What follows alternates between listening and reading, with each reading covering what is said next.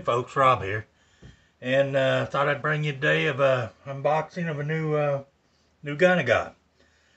And as you can tell by the uh, description and the box there, it is a Citadel shotgun.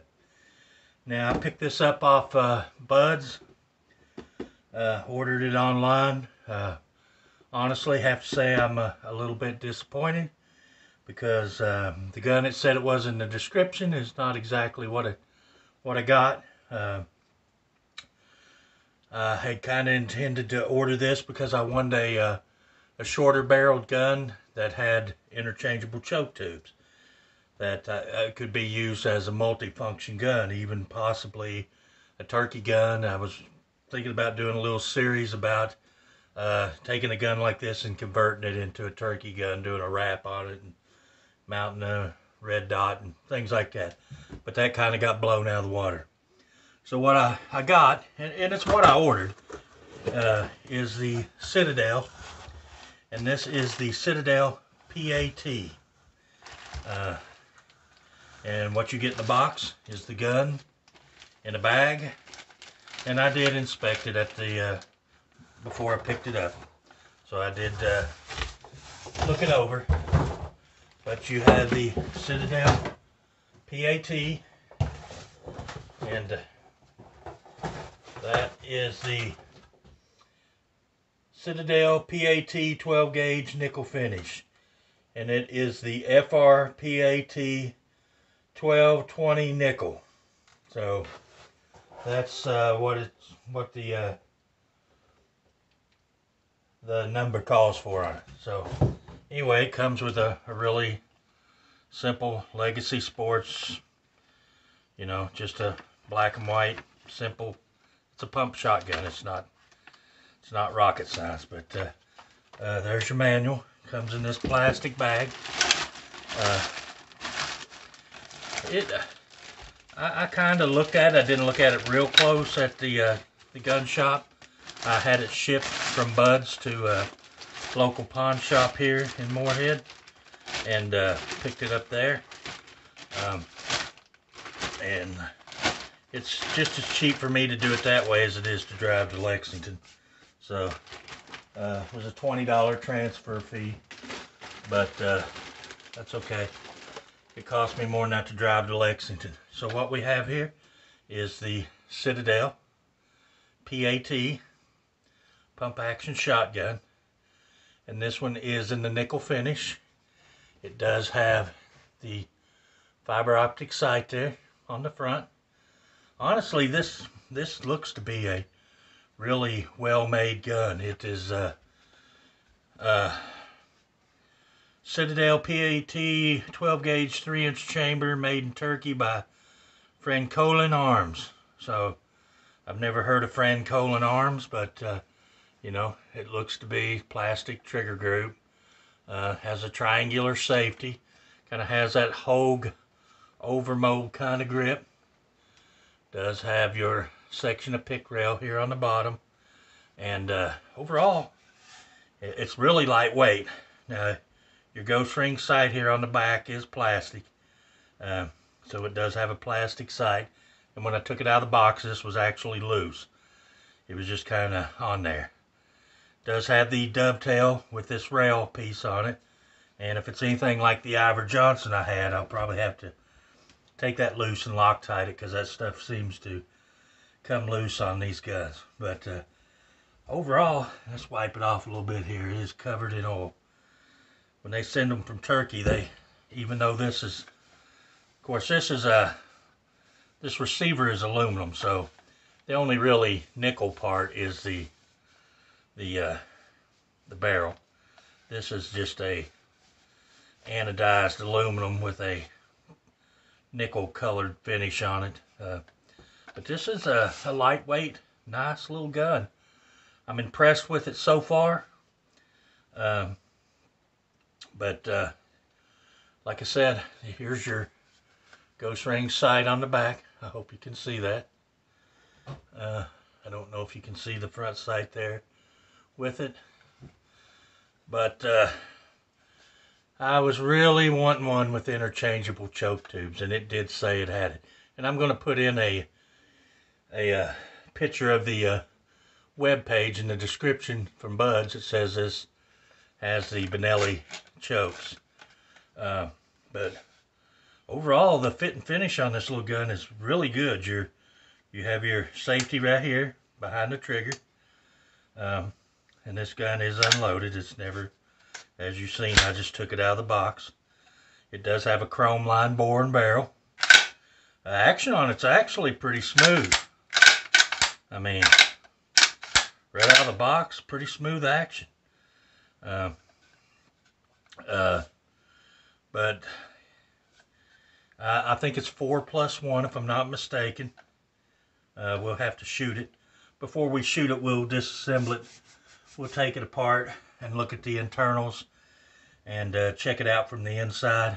Make sure everything is good from the inside. So uh, we'll give it a good cleaning so it will uh, function uh, at its best. But uh, yeah, the uh, the action on this is really smooth. here is your unlocking lever for your your bolt and has a nice big I really like this uh, forearm. It's got a little bit of texture, but it's not overly fat. This is just a nice lightweight gun. This will make a nice uh, home defense gun.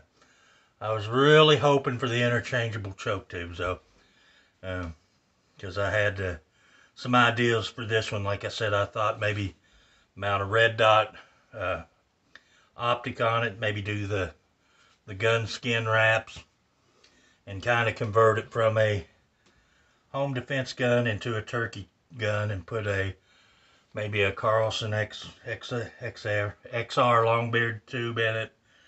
And uh, you know maybe do a series on uh, taking a gun like this and making it into a viable turkey gun on the cheap because this gun was uh, $209 so anyway uh, I'd like to thank everybody that watches I'm just going to keep this one short, just a quick unboxing and look at the gun initially. And uh, our next video, I'm going to do three parts on this one. We'll Next one, we'll take it apart, disassemble it, look at it, clean it, get it ready to shoot. And then in the third video, we'll take it out and shoot it. So we're going to do a little short series on this one. And uh, just look and see uh, what kind of Turkish-made pump gun you get for 209 bucks. Uh, had it had the uh, interchangeable choke tubes, this would have been, in my opinion, an outstanding value. Uh, overall, I'm pleased with the gun. I'm just not pleased with the fact that the description was wrong and it led me to buy something because I actually had another shotgun in mind to buy that was really the same price as this one and it did, did it did come with the interchangeable choke tubes, or at least uh, the description from Kentucky Gun Company said it did. So um, I chose this one over that one uh, simply because this one already had the rail mounted and it had the pistol grip stock where the other one's just a, a standard configuration uh, with no no base there to mount a, a red dot. So that's kind of my thought for picking this one over the other one. And had I known this one. Here's the thing of it is, uh, in if you shop on Buds and you have a question about a product, you can ask a question. Well, the description said it uh, had the MC1 mobile compatible.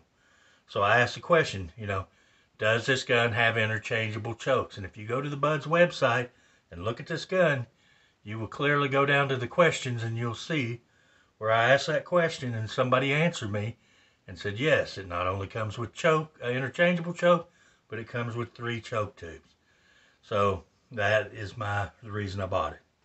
And so uh, obviously some of the people who answer the questions uh, for buds, the experts who uh, do this are not knowledgeable about all guns. So I would think that these people would not uh, comment on something they wasn't 100% sure about you know.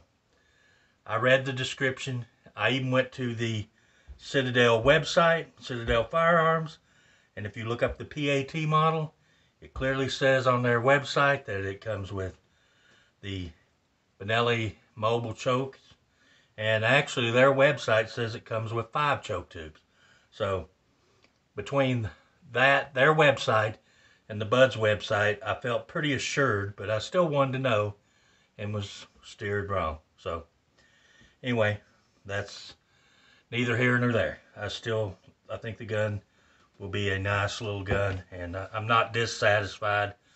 Um, actually, the more I look at it, the more I like it. Uh, of course, we'll take it out and shoot it.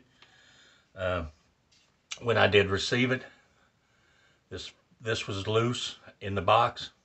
Seems like a lot of these Turkish guns have loose front sights. I did uh, uh, take an Allen wrench and back that out a little bit and put some Loctite on it and put it back in. So it was it was just loose enough you could wiggle it a little bit. So I've already fixed that issue.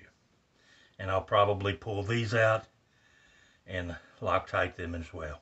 So anyway guys, just a quick look at the Citadel PAT, also known as the oh FRPAT 1220 nickel NKL from uh, Legacy Sports International, Reno, Nevada. Thanks for watching, guys. I appreciate everybody that watches my channel. Takes the time to leave comments, gives me thumbs up. Uh, if you don't leave a comment, just give me a thumbs up. That way I know, you know, you like the video. If you didn't like the video, leave me a thumbs down.